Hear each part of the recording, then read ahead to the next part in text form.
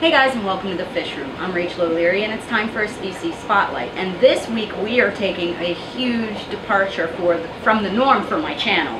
The fish that we're going to talk about this week, the clown barb, actually gets to like four and a half inches and that is a very unusual species or size of species for me to be keeping in the fish room. However, the clown barb or Barbodes dunckeri is a really beautiful fish and I got them in as a special order for a good customer of mine. So I thought I would take the opportunity to tell you guys a little more about them. So let's get started. Now I have stuck some Sera O-Nip to the glass here just to get these guys to hold still for you. As with most mid-sized schooling fish, they move really quick. And I wanted to make sure that you could see the beautiful markings on them. Now they're in this aquarium with some Oreichthys crenuchoides or the uh, Indian drape fin barb. And as I mentioned, these clown barbs were a special order. They're not something I'll generally have in the fish room. That being said, I think they're absolutely beautiful with those striking markings and that nice rich color. Now these guys are just juveniles at just about two and a half inches. So definitely not at their full size or showing sexual dimorphism. You can generally sex them because the males are more brightly colored and a little bit more streamlined in body size. The females are wider through the abdomen and slightly less colored.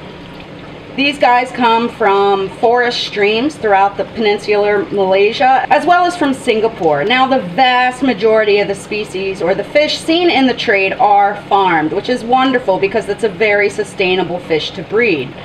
As you can see, they're very easy to feed in the aquarium, readily accepting any dried or prepared as well as frozen foods.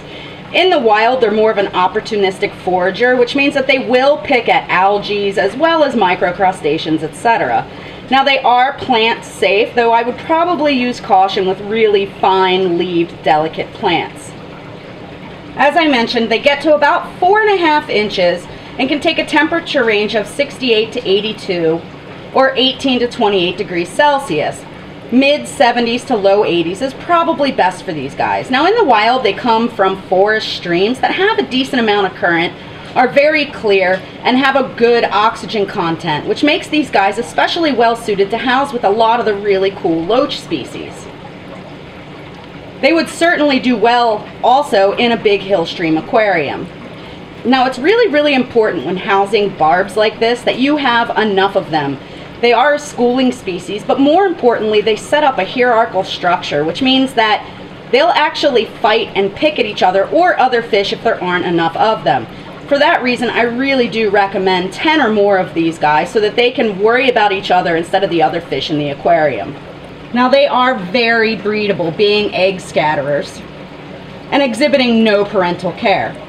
All in all, I think these guys would look absolutely stunning in a big, long, well oxygenated river type setup and they're really beautiful underrated fish.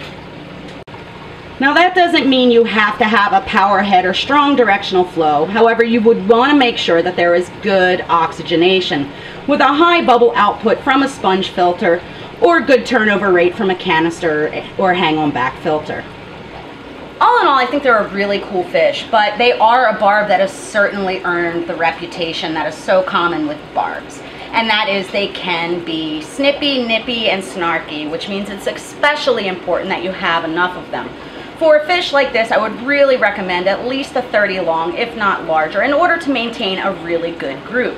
Imagine the display you could get though with a bunch of loaches and these gorgeous fish with some in a beautiful planted aquarium. Anyway, I hope you've enjoyed today's video. Make sure you subscribe and hit that notification bell so you don't miss any of my upcoming videos. I have some exciting things planned for you guys.